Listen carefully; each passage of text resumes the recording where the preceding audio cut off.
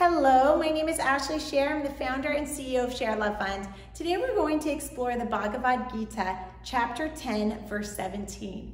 Chapter 10, verse 17 reads as follows. O great master of yoga, how should I meditate to realize you? Which of your manifestations, my Lord, should I hold before me? So here Arjuna is saying, hey, I don't want to get it wrong. Um, I know that there's not really like an instruction book for life, but actually, can you give me one? Because um, cause I want to get it right. May the light in me be the light in you. Namaste.